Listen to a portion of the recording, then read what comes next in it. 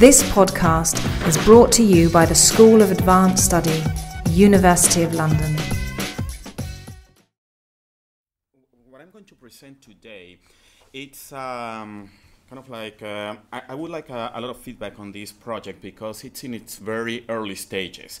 And uh, I've been working together with my colleague Xavier Durán from Universidad de los Andes in Colombia on this project in which uh, we're trying to study several aspects around the concept of economic imperialism by taking into account a particular case that is the one I will talk about here uh, related to the loss of uh, Panama from Colombia, the role of the United States in this uh, loss of uh, this, uh, this previously previous Colombian province, and the role of multinational corporations here. So um, let me start with a few questions that oops, that uh, that drove uh, our our research here. First of all, uh, there's a lot of, um, of talk about the role played by economic powers at financing or at giving uh, different kinds of aid to the corporations of their countries when expanding abroad. So there's, a, and I will uh, uh, talk a little bit uh, uh, about uh, different views that have tried to interpret or to understand why governments uh, might uh, put money in the behind the operations of multinationals from their own countries. Now, of course, there's a big debate of who benefits and who loses from this expansion of corporations abroad and from the role played by governments in, in, these, in these expansions, and also what type type of responses from uh, the countries that are colonized, uh, for the lack of a better word here, although if you guys have any uh, suggestion, I would welcome it here. Uh, what kind of responses the colonized countries can develop? What kind of strategies they can develop when uh, facing imperial actions from, uh, from economic powers? These and these uh, questions fall within the larger the larger research agenda I've been developing in, in the last uh, few years regarding multinational corporations in poor countries. Basically, uh, we know that there's a lot of literature talking about the evils and the motives uh, behind this, but uh, there are several aspects here that can be can be requestioned here. So let me start with the with some of the um, of the roots of the explanation of uh, the effects and the motives of uh, the expansion of multinational corporations abroad. Maybe the most, uh, the classic one, I mean, that uh, became the root of a whole school of thought around multinational corporations is the one developed by Vladimir Lenin in 1917, where he basically um, decided to go beyond what Marx had said before. Marx, basically, Lenin said, okay, Marx Marx's interpretation of imperialism was one in which uh, Marx assumed that the world powers, world economic powers, expanded abroad in the search for markets. Now, Lenin said Marx was right in his times, but he's wrong now. And uh, the now time was 1917. Now, Lenin said the reason why Marx is wrong, uh, or, or, the Marxist, the, the, the, traditional Marxist interpretation is wrong, is because now we, uh, by the time he was studying, he said, we see the role of multinational corporations expanding around the world, not in the quest of markets, but in the quest of resources. And more importantly, he said the force behind this expansion is financial capital. We cannot understand globalization without understanding financial financial capital that has captured the governments of the, of the countries in which these companies uh, come from. Then we know later on, decades uh, afterwards, the people who came up with the dependency theory, people like, for example, Teotonio dos Santos, developed, uh, helped to develop the model, the center periphery model, in which multinational corporations played a role at, uh, at not only expanding markets and, uh, and, and, uh, and looking for natural resources, but at creating, uh, at perpetuating the state of underdevelopment um, of some nations so that the rich nations could benefit from this inequality. And now, I mean, later on, we have people like Immanuel Wallerstein uh, developing this model even further by talking about the world systems uh, analysis. Now, uh, there have been some re recent uh, views about the expansion of capital around the world, and uh, we know that uh, um, some uh, some recent scholars have tried to test what people like Lenin and or, or, or Dos Santos said in the past. We have from 1993, Cain and Hopkins explained the, the expansion of, uh, of uh, multinational corporations abroad and the support by governments behind their, this expansion on the search of, uh, of of new of new markets.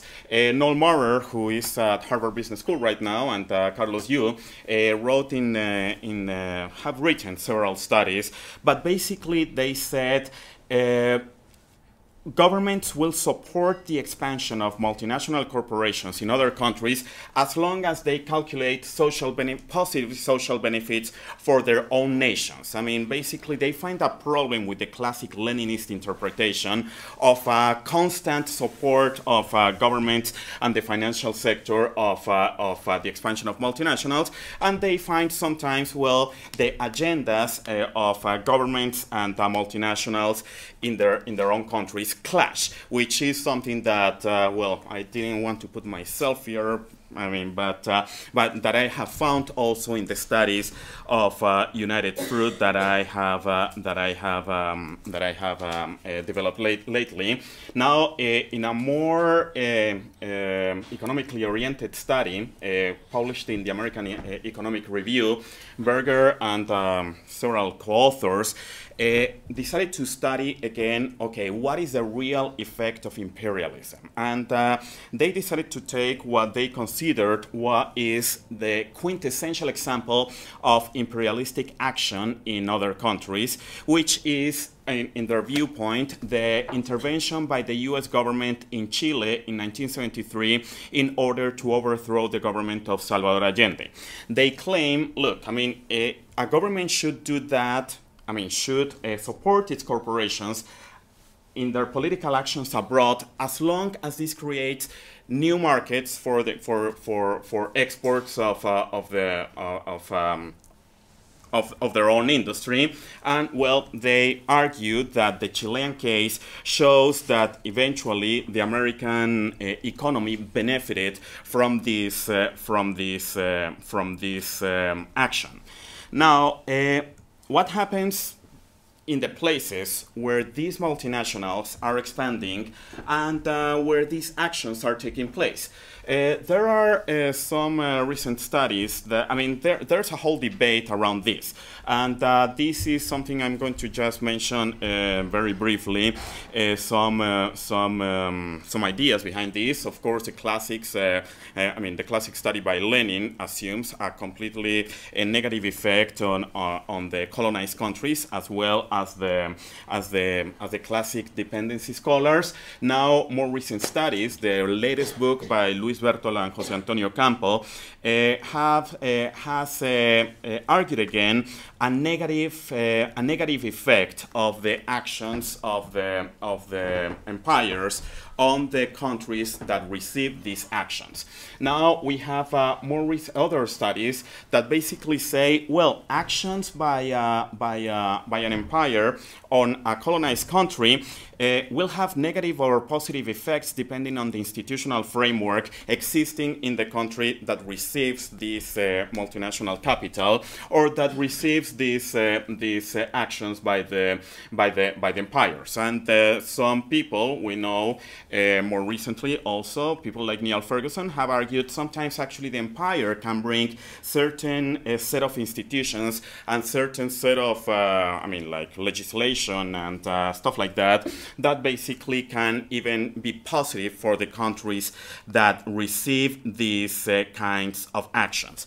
On the side of business historical studies, Stephanie Decker from Aston Business School have studied the, the actions of multinational corporations corporations in Africa, and uh, basic and the, the subsequent um, expropriation of these corporations. Basically, she says. Um, depending on the ability of, uh, of the locals to take over the, the businesses of the imperialistic powers, the effects will be positive or negative. If they are good at, at running whatever business the empire developed uh, originally, well, they will benefit. If they are not, uh, the effect will be will be negative. I, I know I'm summarizing, hopefully in a not very simplistic way, a wide body of literature, but basically I'm trying to put here uh, the, the study we're developing, are, I mean, uh, in the context of these, uh, of these debates. The traditionally assumed negative effect of imperialistic actions, uh, in, in, contrast to other studies that have uh, that have said, okay, it depends on many on many factors. However, there's not much being said about actions from the colonized countries towards the empire. I mean, basically, the strategies developed by these colonized countries in, the, uh, uh, in order to respond to, to these imperialistic actions, particularly actions by the colonized country that take place within the empire. So this is what we are going to talk about, that sometimes the colonized country can respond uh, to actions taken by the empire by taking advantage of some particular characteristics existing within the empire. So this is the general framework that I hope I did not uh, flood too much, uh, too many names here uh, in my in my in my talk. So the the case that I'm going to talk about here that we are working on with uh, my co-author are the reparations the American government paid in 1921 to the government of Colombia over the loss of, uh, of, um, of Panama. Basically, uh, here we know that the Panama Canal, originally the one, I mean, Panama used to be a Colombian province, and it was a group of uh, French entrepreneurs who wanted to develop the canal. They failed, and uh, this is one of the shares of this uh, company that originally tried to to um, to develop this uh, canal.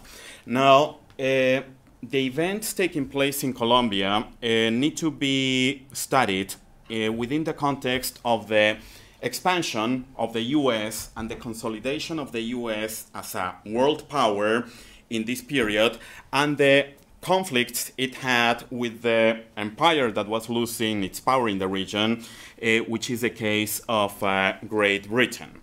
Uh, here I'm going to just uh, make a long story super short, but basically uh, the dates that, uh, that um, a, a, crucial date um, uh, for us to understand the expansion of the of the United States is the 1848 war against uh, Mexico, the, which the Americans won, and uh, this permitted the expansion towards the west of the of the of the of the United States, with the U.S. covering uh, the North American continent from the Pacific to the Atlantic. In 1855, uh, the American several American companies uh, tried to build a um, build a, um, a railroad in the area of uh, Panama in order to avoid um, to avoid I mean crossing the the whole the whole the whole the whole railroad, uh, the whole continent. I'm sorry.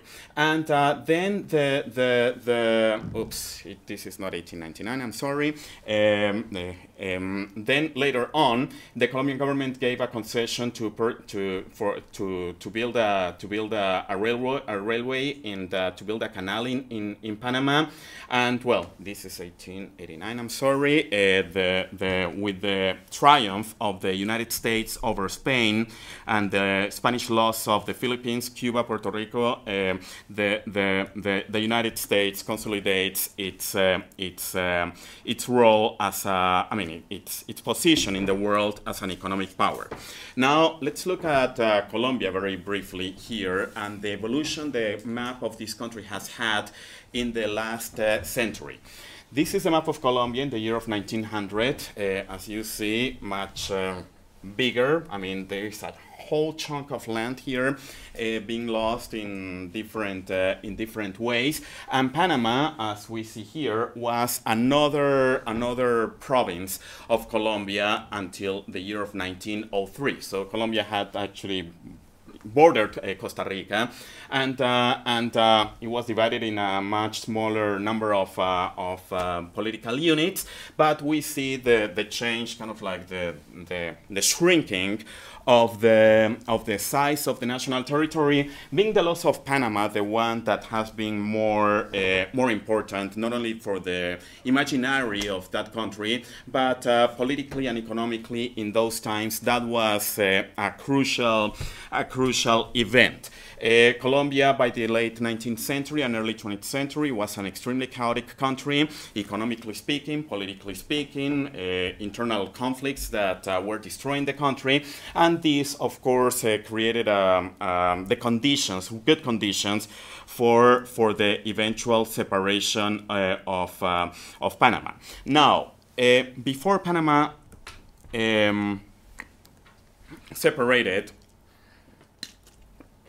the, the US and Colombia uh, signed a treaty, which is this Herrán-Hay Treaty, in which the US uh, negotiated a concession over the piece of land in which the Panama Canal would be built. And the US would give Colombia $10 million plus $250,000 per year uh, for for a period of 30 years for the for the operation and the construction of this uh, Panama Panama uh, Panama Canal. Now, the Americans, uh, I mean, the negotiators reached this agreement, but of course, the agreement needed to be ratified by the Colombian Congress, and the Colombian Congress rejected the the treaty. I mean, uh, there was a lot of uh, particularly patriotic uh, discussions about kind of like uh, what kind of control the Americans were going to have over over over over over Colombian territory, etc. And just a year after, I mean, right after the moment in which the Colombian Congress rejects this treaty, the Americans support a separatist movement in Panama and Panama becomes an independent country, which we know later on would give the U.S. the the the control over the area where the canal was construct uh, was built. So uh, here, I mean. Uh, we have uh, this cartoon in the Harper's Weekly. In that, uh, in that time, we have uh, Teddy Roosevelt with a bag. It says here, for those who cannot see from the distance, it says millions for a canal, and Colombia is represented by this uh, by this guy with the two guns. And uh, well, it says basically held out the wrong man. Basically, okay, the Colombians wanted to to tell the Americans, okay, we don't like your offer, and they were punished immediately by losing the whole the whole the whole thing.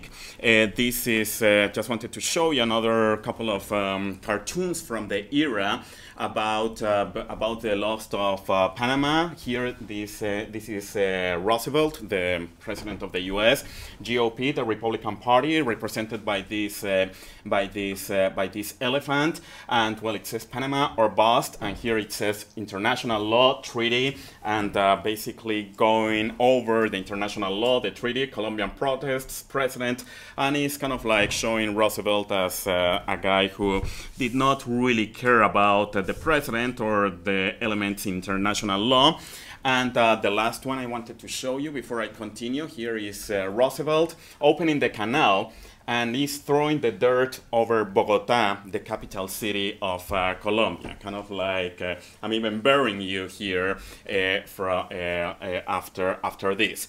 So this is something that um, that uh, had enormous repercussions later on in Colombia. I mean, several authors have said one of the reasons why Colombia is such a centralized country is because after the loss of Panama, many governments thought if we allow the provinces to be relatively independent, well, we will see this. I mean, other countries will just come and grab them, or they will go and uh, go their own way, and uh, and uh, and this is something that uh, that led, I mean, to uh, to to to this uh, to, I mean, partially led to a an, an, extremely central centralized political system in that in that country. So the U.S. unquestionably won I mean, there was some little ship that tried to go to Panama to defend national sovereignty, whatever. It was a joke. I mean, it basically, this was an overwhelmingly uh, successful action by the US, and which showed a very strong weakness by the Colombians who just basically watched the part of their territory being lost. Now, okay, you win, you're big, you're the US, you're powerful, you're weak, you're small, you're poor, you're Colombia. So we have these extremely uh, divergent uh, actors uh, uh playing in this, uh, in this playing, playing a role in this, in this whole process. But years later, almost two decades later, by the year of 1921, we see the American government paying 25 million dollars of reparations for the loss of Panama. So here the question would be, okay, why, if I'm big and powerful, I mean, why, why do I show regret for what I did to begin with? I mean, this would be kind of like showing, okay, uh, saying I'm sorry, here's your $25 million, and, uh, and we get uh, this whole thing settled. Here, uh, we need to talk about several, several issues that uh, were present around the whole loss of, uh, of, the, of the, I mean, the whole payment of reparations for the loss of Panama. The first one is the developments, uh, different developments in the international oil industry, certain, certain characteristics of the way oil is exploited in Colombia, and the negotiations uh, between oil multinationals and the Colombian government. So let me put this in, um, I hope, yeah, it can be clear here. Okay, well, this is, uh, well, a map before the whole chopping of the territory. Uh, but uh, here we have uh, Panama, and we have two oil regions here, the Middle Magdalena oil region and the Caribbean coast oil regions, regions that started being um, discovered and, uh, and developed in the early 20th century, mostly in the very beginning by Colombian corporations that, uh, that started exploring uh, the oil in the, in the area. Actually, one of the most uh, um, interesting characters behind this uh, exploration was a guy who wanted to be known as an oil man, but unfortunately for him, but maybe fortunately for everyone else, he's more well known for his literary works, is Jorge Isaacs, who actually the one who wrote this novel Maria that is now, I mean, every schoolboy, school person in Colombia has to read, and uh, and uh, and uh, he was one of the entrepreneurs looking for oil here. But of course, we know oil is a very complex industry that requires a lot of capital, technology, that uh, these uh, Colombian entrepreneurs did not uh, did not did not have. Now, so there's oil here and there's Panama and there's the canal, and in theory they're two separate uh, separate things. Now, right after Panama gains its independence, the U.S. government actually approached Colombia and said, "Let's try to get this settled, and uh, let's try to get it uh, um, officialized." In a way, nobody questions the sovereignty of uh, Panama, Panama in the in the future. So, in the year of 1909, uh, there's this treaty, the Root Cortés Treaty, uh, by which the U.S. government uh, proposes to pay 2.5 million dollars to get the whole thing settled and forget about this. But just one year later, we start seeing serious explorations for oil in the Magdalena region. So this is a moment in which Colombia starts becoming important. I mean, it was important before the loss of Panama because of Panama.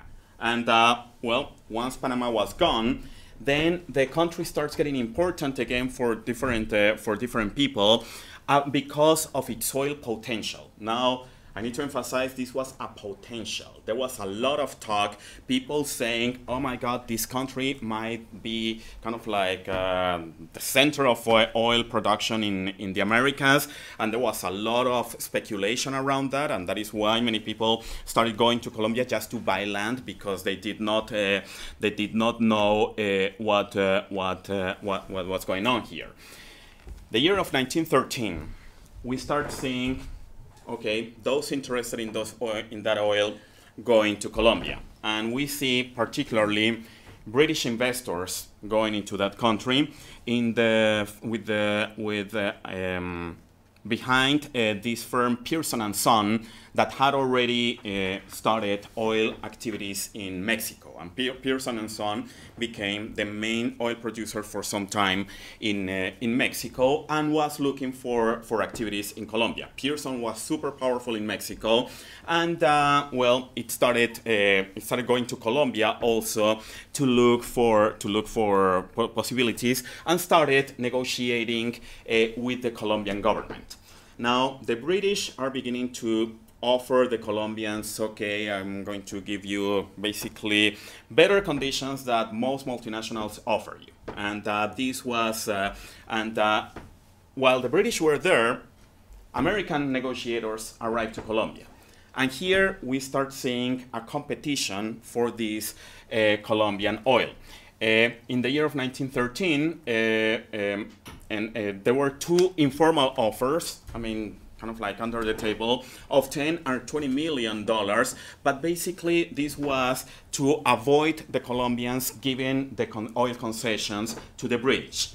And this is something that the Colombian government realized uh, soon enough. Okay they, they were aware that they were weak, that they were poor, that they needed the capital, but there were two big guys trying to compete for their for their for their oil. And uh, uh, at some point, I studied in detail the negotiations between Pearson and the Colombian government, and uh, there is a very interesting process by which the Colombians were kind of like procrastinating any agreement with Pearson, partially while checking what the Americans had to offer. But at the same time, they, they, they were, I mean, uh, the anti American feelings in Colombia were really, really strong in these times because Panama had just been lost uh, a little bit uh, around, around, around a decade before.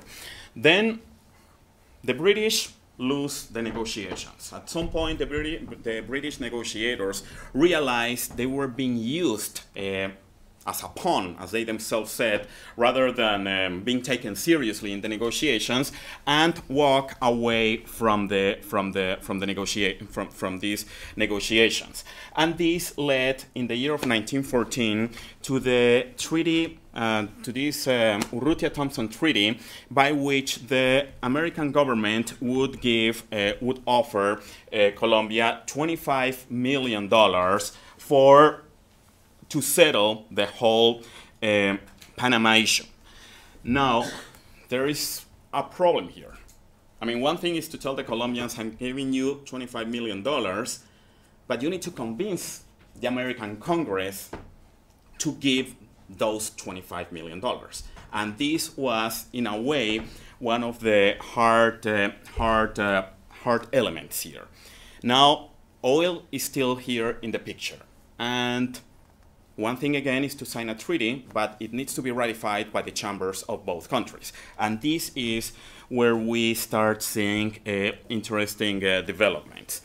Um, in the year of 1919, an American corporation called the Tropical Oil Company uh, got uh, concession rights uh, in Colombia to exploit oil.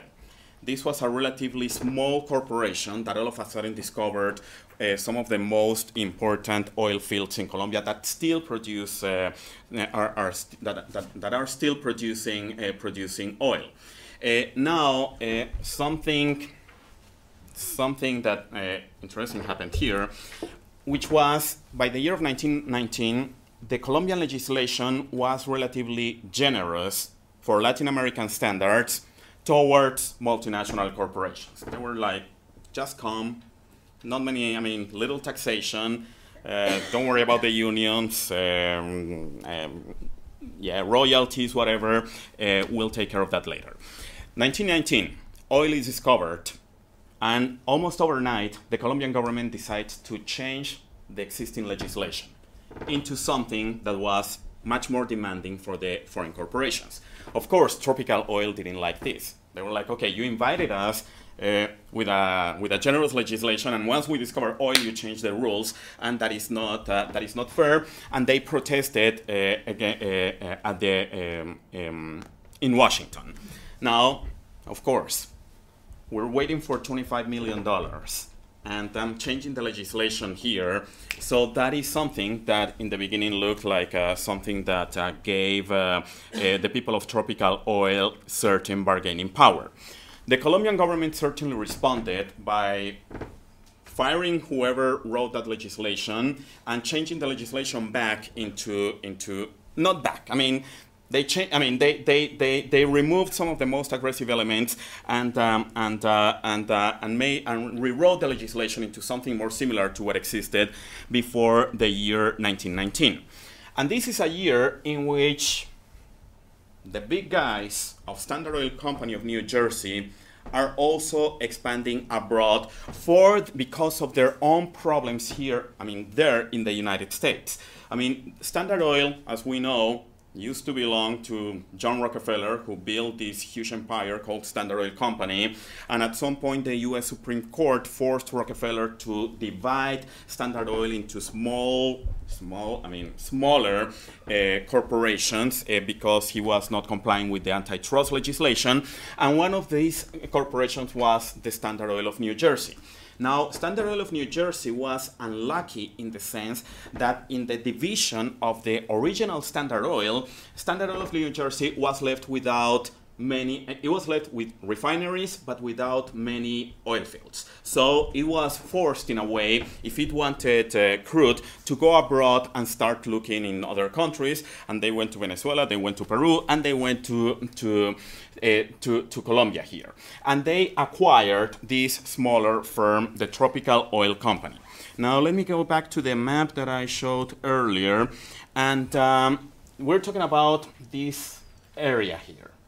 And of course, and this is the element that the Colombian government, as I will show later, will use as their as their weapon here to to to to, to shift a little bit the the the, the bargaining power vis its bargaining power vis-a-vis the the U.S. and foreign corporations.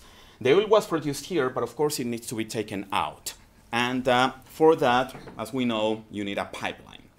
And this is where uh, we have the following situation. A corporation called the Andean Corporation had been created before in order to to to to to to transport the oil from the oil fields into the into into into to the refineries or to the or to the or to the ocean in, in case you wanted to to export it. Now, uh, the thing here was the Colombian government told Standard Oil, okay, you acquired Tropical and you actually also acquired the Pipeline Corporation, but the concession we gave you was on the production corporation, not on the pipeline corporation. So you need some way to take this oil out. And, uh, and uh, so what are we going to do here? This is Standard Oil. Okay, one second here. Andean Corporation is the one that, uh, that, uh, that uh, is going to transport this, uh, this, this oil.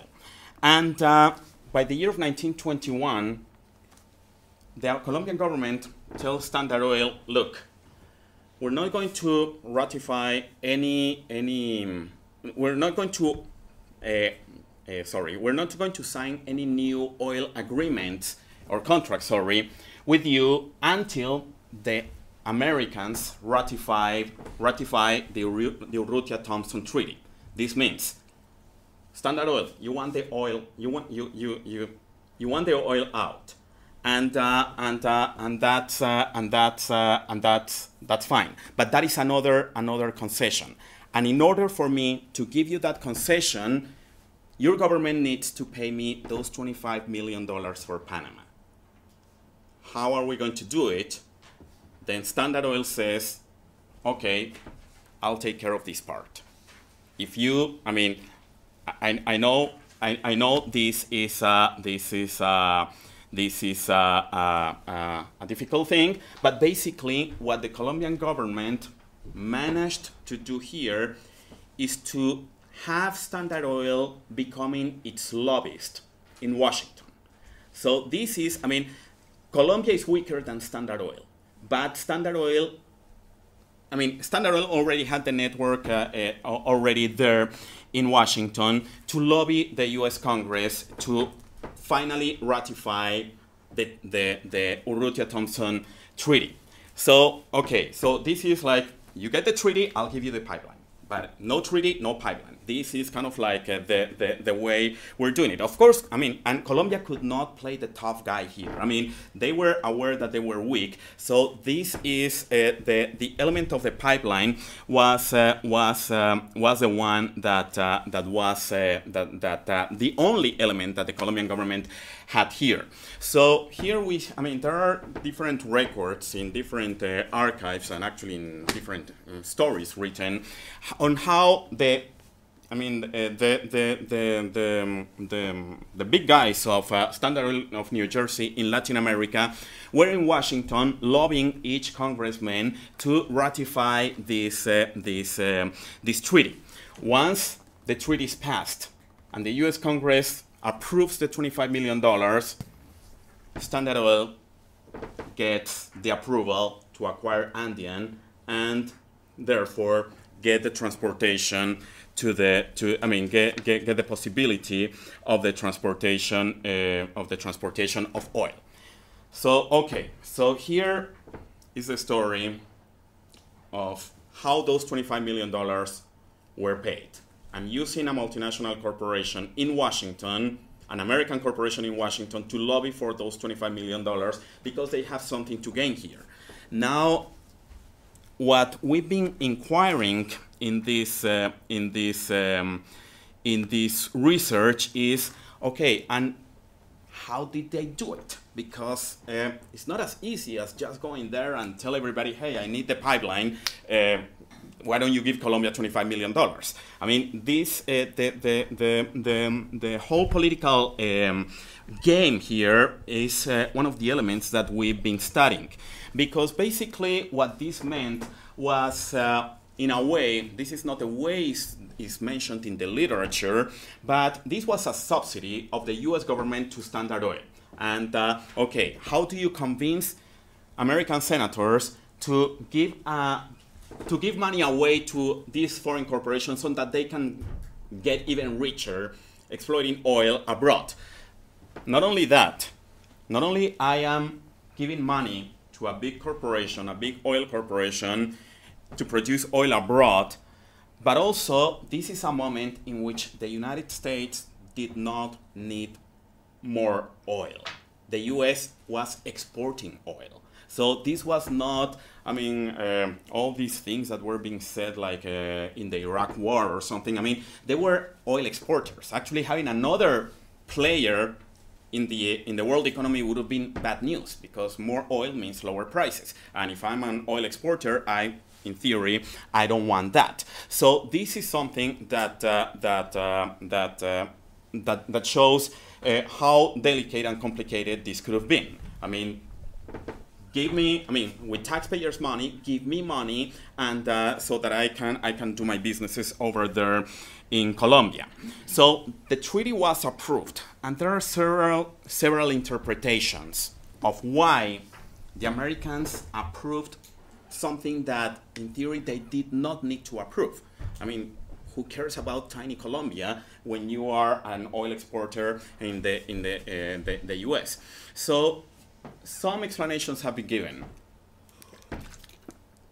One, and one of the representatives of this is Stephen Randall, although there, there are more people um, saying this, have said, some of them have said, look, there was simply a new political climate in the continent. Basically, by the 1920s, we have Wilson, And beforehand, we had Roosevelt. Roosevelt, the macho guy who just, I mean, the big stick, I mean, the, the image of the big stick just hitting the little the little countries around, and uh, well, the, then came the the idea the the um, not ideology the good neighbor. Um, um, era by which Washington, in theory, wanted to improve its relations uh, with uh, the rest of Latin America. And uh, basically, uh, people like Randall have said it is because of this new era, this new political climate that uh, made some politicians say, okay, if we want to be serious about this good neighbor thing, well, let's pay Colombia its $25 million and uh, settle this, and now we're friends. Uh, there's another group of scholars. Uh, um, one of the, representative, uh, the representatives, I'm sorry, is Taylor Lael, who said who have said, look, when you see what the Democrats and the Republicans were saying about the Panama Canal, you find two opposite views. You find, and this is true if you read the, the media of the time, the Democrats saying, look, I mean, if we, I mean, we don't want an empire. I mean, the Democrats were in theory saying empires i mean that's that's the british that's the french. I mean we, we are a republic. We are different and we obey international law and uh, therefore if we supported the separation of panama from colombia then the best thing for us to do is to compensate the colombians for this for this loss while if you read the republicans the republicans were more like too bad i mean they lost that's it I mean, uh, why should we care about them? And actually, well, or I mean, they had more complex or more sophisticated uh, uh, um, arguments. They said, look, pain means that we're saying we regret doing something. And saying that we regret doing something is admitting that we did something wrong. And this generates a really bad precedent for American foreign policy that we intervene in a country and then we say, oh my God, no, this was the wrong thing to do. And some Republican senators said, no, America is a country that does the right thing always. I mean, we, we just not, we should not question that thing. So Lael has said, okay, more Democrats started getting more, uh, more influence in the government, and that led uh, the, the, the, um, the, the um, that led the, the, the, the, um, the, government of the US to pay those $25 million. And uh, other authors have said, look, uh, especially yeah, Villegas and De La Pedraja, who are kind of like in the in the um, left side of the political spectrum among the scholars that analyze this, have said Colombia lost no matter what. Uh, on one hand, they gave, uh, they gave um, Panama to the Americans, and on the other hand, once they received those $25 million, they gave away the oil industry to the Americans again. And according to them, those $25 million were peanuts, and uh, because uh, the country could have become like a big uh, oil exporter. And uh, this, uh, uh, this, I mean, the US, of course, wanted these $25 million to be paid because it it um, it um, um, well, it clarified the sovereignty. I mean, it, it, made official the sovereignty of Panama as an independent nation. And, uh, well, it could have the canal. Now my negotiations are with Panama. Let's forget about the, the, the, the Colombians. And, uh, and, uh, and in addition, we get our big corporation exploiting all the oil in Colombia. So basically, this, uh, so yeah, we have like, okay, I mean, the American government is getting nicer, the Democrats are nicer, no, the Americans are evil, but, uh, and they won anyway because uh, this was the way to do things. Sorry, uh, quick one, um, you said, you showed in a previous slide that 25 million at that time are around 10 billion today. Yeah. Do you have an estimate of what were the estimated revenues from the exploitation of the of the of the field? I mean, what what math was the Standard Oil company doing? Pay 25 and we and we want to get X. What was the estimate? Yeah, I, I'm going to. Oh, sorry. Yeah, but uh, but yeah, I mean these are calculations that we've made, and uh, they differ actually. And again, uh, as long as we continue, we will have to to to com- in, no. As long as we in the research continue, we will have we will have to see how, how we differ with the de la Pedraja and um, and Villegas. So, okay, um, let's look at some of these explanations. Um, we found that the people that say the Democrats were not, I mean, that it's because uh, the difference between Republicans and Democrats, uh, they're basing themselves in whatever they said in the media.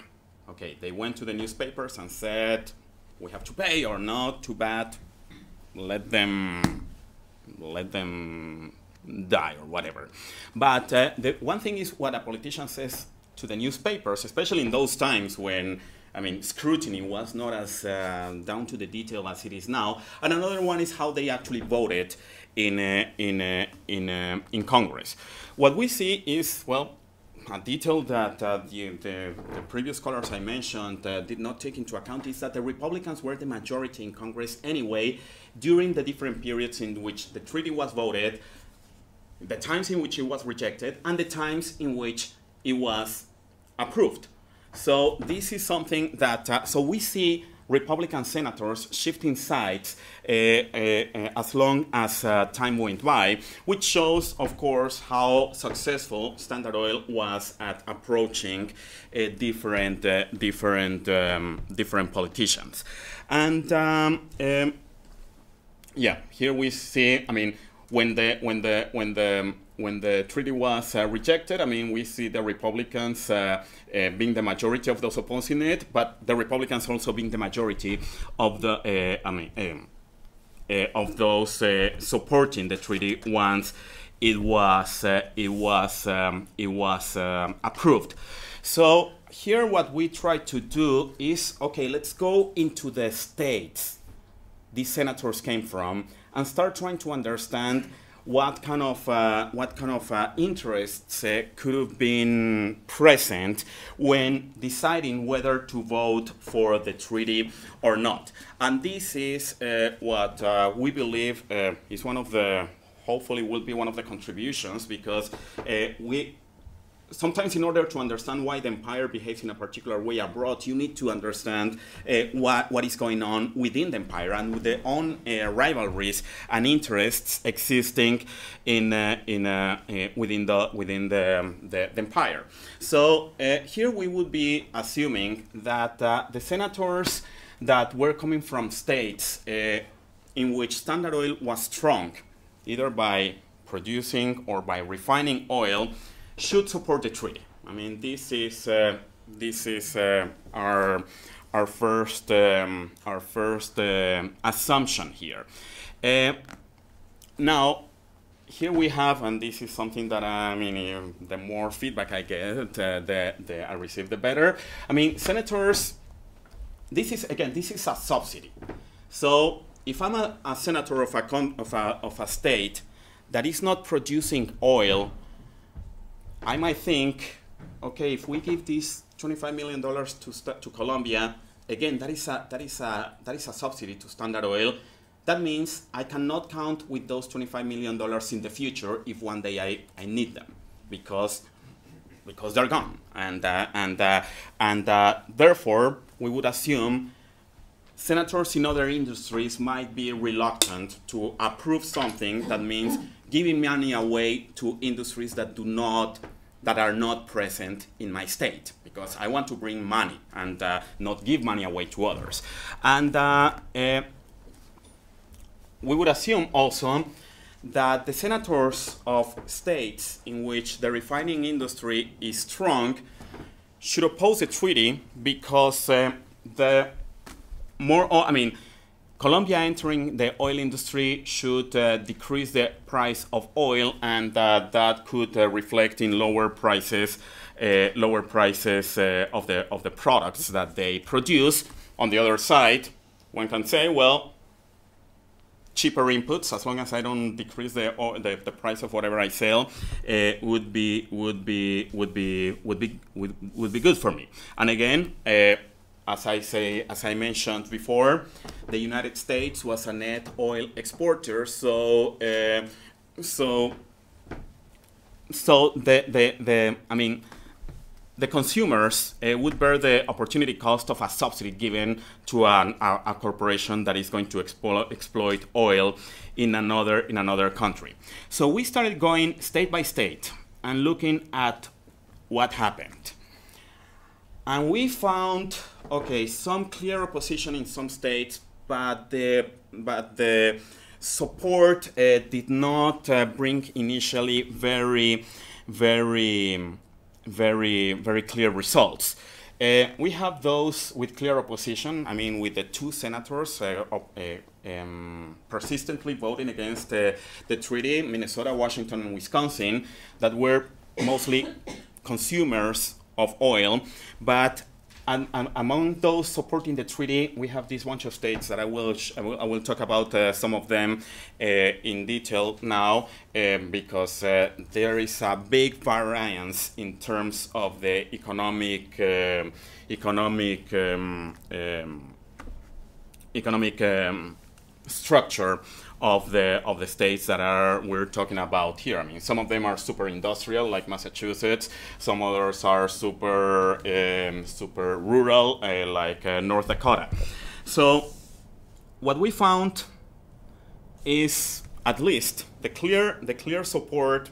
I mean, uh, in this in this case, I mean things were pretty straightforward. The states in which Standard Oil was very strong were the ones that voted in favor of paying those $25 million. Okay, one can imagine Standard Oil is strong in my state, and I want to support it. And well, maybe they're giving me money. I mean, so so it's even more important to to to to to to support it. But uh, but the, the states, other oil important states in which Standard Oil was not important, did not seem to did not necessarily support, did not support the treaty. Basically, here we can say, okay, other oil producing states like uh, California and, uh, and, and, and, Kansas did not see any benefit of having these $25 million diverting into the benefit of, of Standard Oil. If I, I mean, it's not some, they didn't seem to see this $25 million as something that was good for the oil industry, but just was good for one corporation that uh, they were probably competing with, or they, or they, or they, or they didn't, uh, or they didn't want. Uh, now, uh, we have, for example, uh, some states that had uh, that had um, I mean, of course, all the states have a diversified economy and in different degrees. And uh, we have, this, for example, the case of uh, of uh, Wyoming, that is uh, both an oil state but also a cattle state, uh, supporting the supporting the treaty, even though uh, this was not a state in, in which uh, in which um, in which uh, United Standard Oil was that powerful, and it seems that states in which Standard Oil was not powerful, but needed oil for manufacturing they saw this as an opportunity. Probably we're still going deeper and deeper on this, but the intuition would say cheaper energy. I have factories, all right. Bring, I mean, bring Colombia into the into the into the into the oil market because that might mean uh, that might mean um, that might mean um, yeah cheaper I mean in the, the input prices are not going to are, I mean yeah this is this is not uh, uh, getting I mean um, renouncing money that I could have used, but actually it's money that is good for my own industry. However, some states are using the money for, I mean, are important consumers in manufacturing, but others are important consumers in the very end of the, of the, of the industry, that is the final consumers. And uh, we see again that the states that did not have big factories and were not producing uh, oil but that at the same time were promoting the use of motor vehicles and farming ma ma machinery did not seem to approve, I mean, did not approve the treaty. Now, why? I mean, this is cheaper oil for me. I mean, and, and for, for the people driving the cars. For this, in order to understand this, we started analyzing the structure of the oil industry. Okay, why, if oil is going to be cheaper and I'm telling people and I'm trying to promote car consumption, I, I, am I, am I, why am I going to oppose a treaty that might make oil cheaper? And this is because refineries were usually located in other states.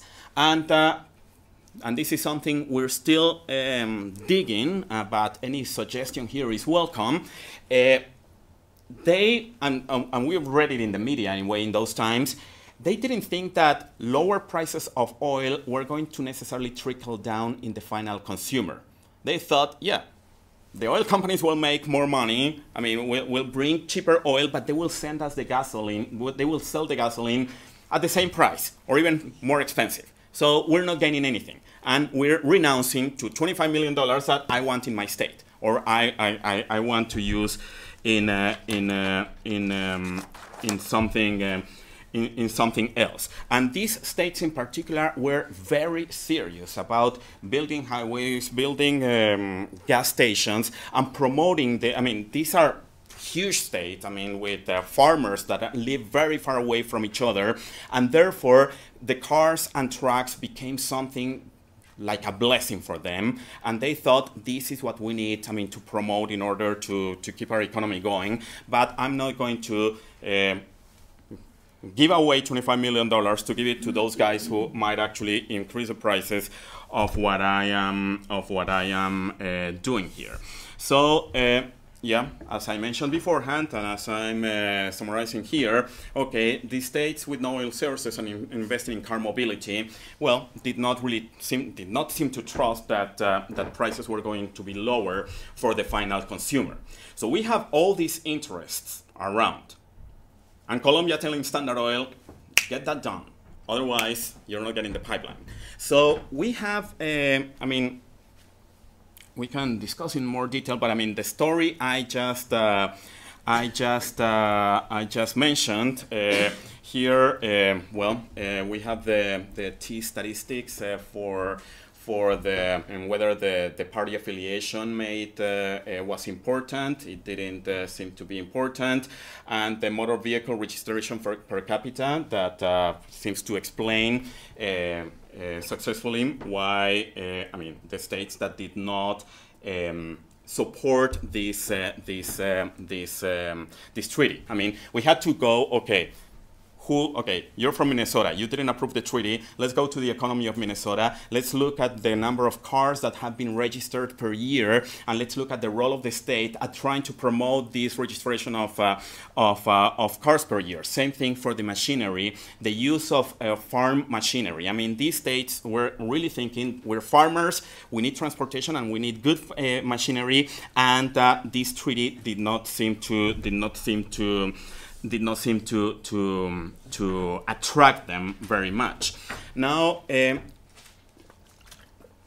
so again, okay, I, I will come back again to the point of so why how how did they manage to to to convince these people and I hope I will not disappoint you guys by telling you at the end that uh, we're still trying to find the, the, the final answer. Um, so that might mean another invitation next year. I don't know.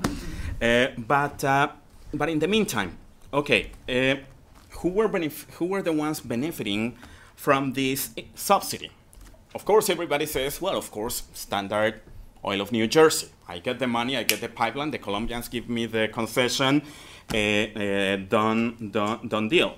And actually, well, it seems, I mean, like the the activity of oil transportation was certainly more profitable than the actual oil extraction within Colombia.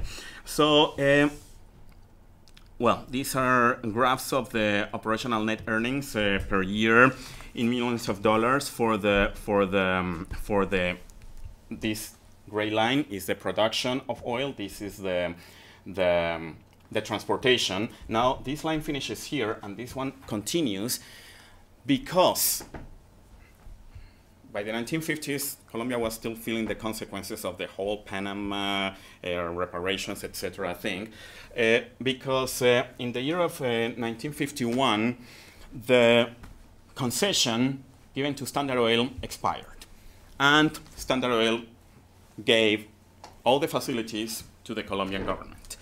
Um, this was supposedly, or they said, and yeah, it actually was, uh, a historical event because Standard Oil said, look, this is the first time in history in which a multinational corporation gives its property to a government not because of expropriation, but because the contract expired.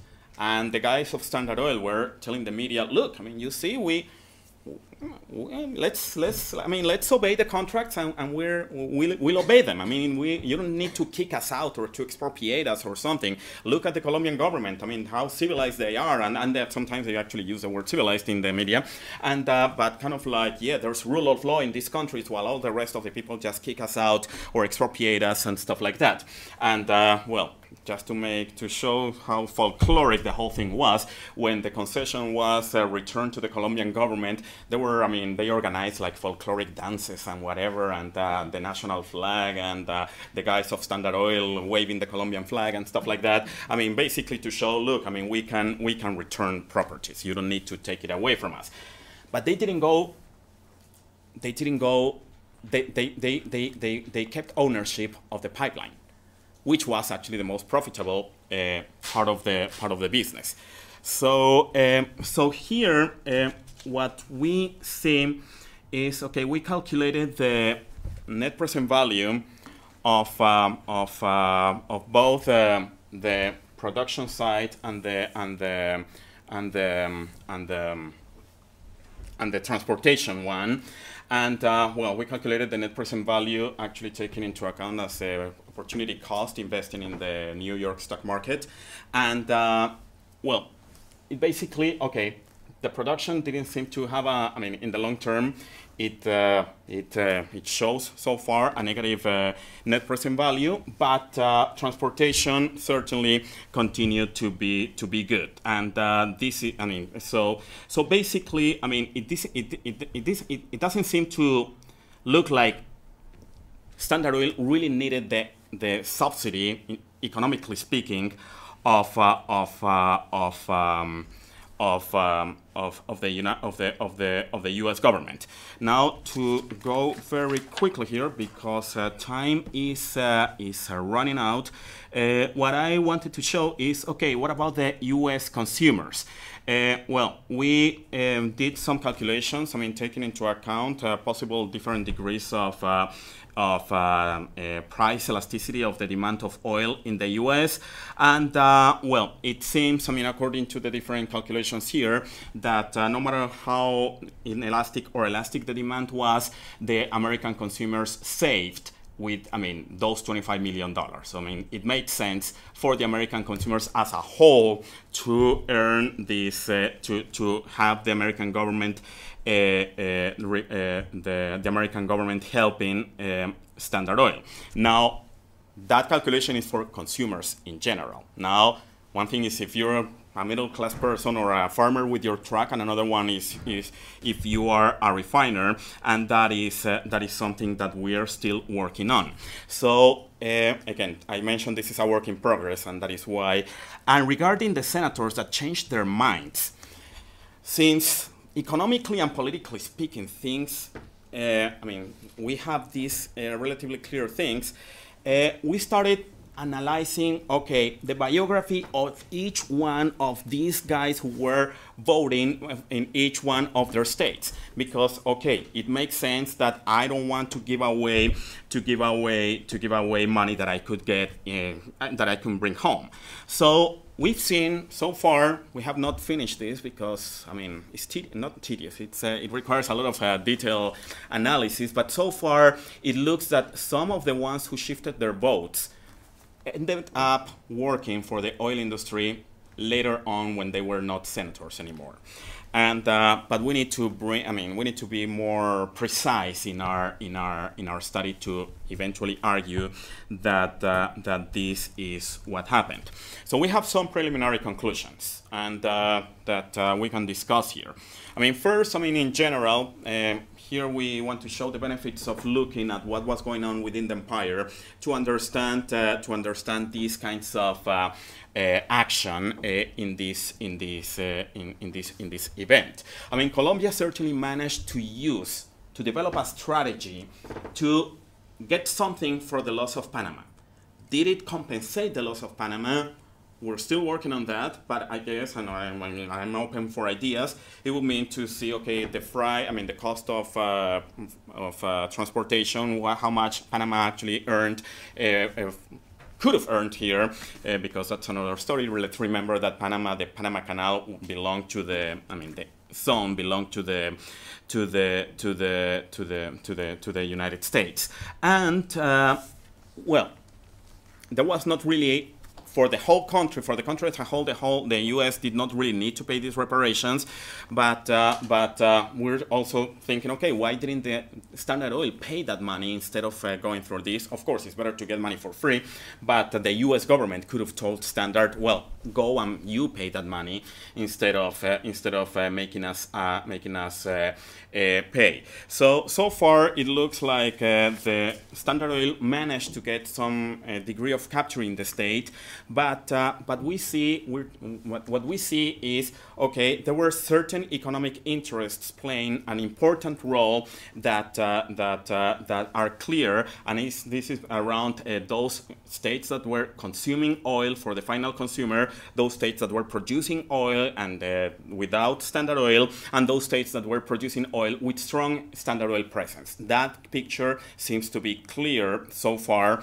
and we're still um, well, digging our sources and playing with the data and uh, not playing, um, engaging into serious uh, calculations. And, uh, and um, so this is the story so far. And uh, um, I welcome feedback, questions, ideas, suggestions, criticisms.